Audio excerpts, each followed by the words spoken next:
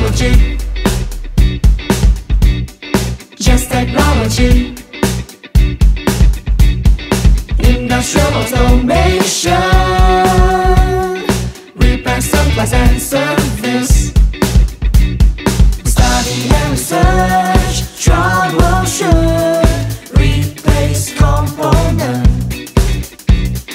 Ensure quality.